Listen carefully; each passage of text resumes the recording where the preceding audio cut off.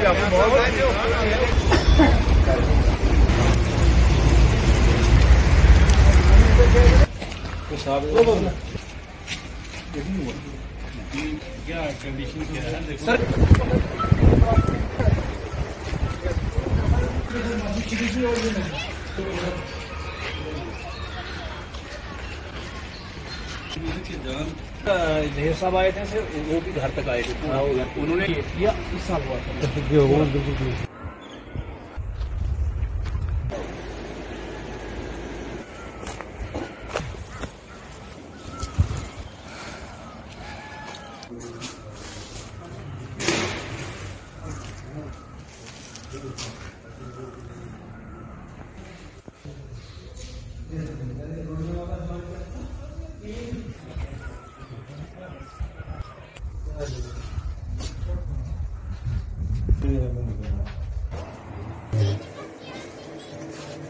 حالیہ بارشوں میں ویسے پوری ڈسٹرکٹ رام بن اور بالخصوص کھڑی اور ہمارے بادحال میں بھی کافی لوگوں کا نقصان ہوا تھا۔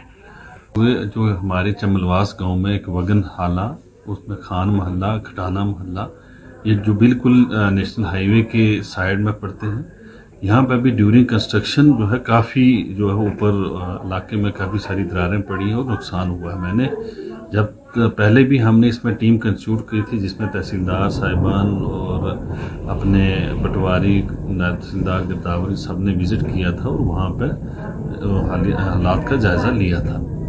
بہرحال آج میں نے خود بھی مناسب سمجھا کہ میں جا کے اس کو اپنی نظروں سے دیکھوں، جو میں نے دیکھا ادھر کافی بڑی بڑی دراریں پڑی ہیں۔ اسکول جو پرائمری اسکول واگن ہے، اس کو کافی نقصان ہوا اور وہ وہاں پہ رہنے لائق نہیں ہے۔ جو وہاں پہ بچے تھے، ان کو ہم نے ٹمپریرلی ایک پرائیویٹ اکاموڈیشن لے کر کے وہاں پہ شفٹ کیا ہے۔ باقی گھروں کو بھی near about thirty five to forty گھر ہیں، جن کو جزوی نقصان ہوا ہے۔ ان کا بھی ہم نے اسیسمنٹ کر رہے ہیں اور ہم اپنی ایک مفصل رپورٹ بنا کر کے اپنی ہائر ایڈمنسٹریشن کو جو پوری ویریفیکیشن کرنے کے بعد سبمٹ کریں گے اور جلد از جلد انشور کریں گے کہ نیشنل ہائی وے جو کنسٹرکشن کمپنی ہے ان کے ساتھ مل کر کے جائنٹلی اس میں کوئی نہ کوئی کریکٹیو میجرز لی جائیں گے۔